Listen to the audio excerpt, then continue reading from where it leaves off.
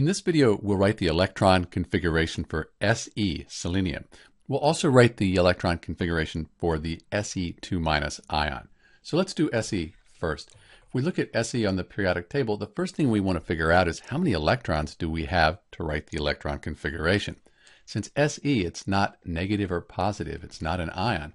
The atomic number, the number of protons, that'll equal the electrons. So we have 34 total electrons to write the electron configuration for selenium. There are two ways we can do this.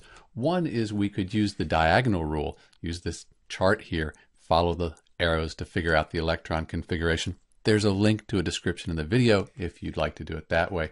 Probably a better way though is to look at the periodic table broken up into these blocks. We have the S block, D block, P block, F block would be down here. So let's write the electron configuration that way. We'll start out, we go 1s1, 1s2. Now that's full, so here's our 1s2. s orbitals hold up to 2. 2s1, 2s2. For the p's, they hold up to 6. So we have 2p, 1, 2, 3, 4, 5, 6. 2p6 is full.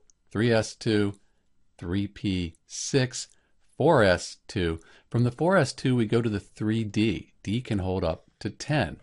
So we have 3d10 then we have 4p, but we only need four more electrons to have the complete configuration for Se. So we have 4p, 1, 2, 3, 4. That's the selenium. So we have 4p4 as our last term here. We've used all the electrons.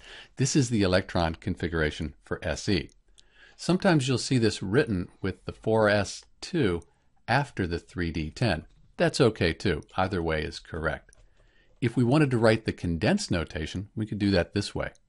So if we wrote the noble gas configuration for argon, it would look like this. So we can just condense that down and then have the rest of our configuration. If you wanted to draw the electron configuration for the Se2 minus ion, what you would do, because it has a 2 minus, that means it has two more negative charges, two more electrons.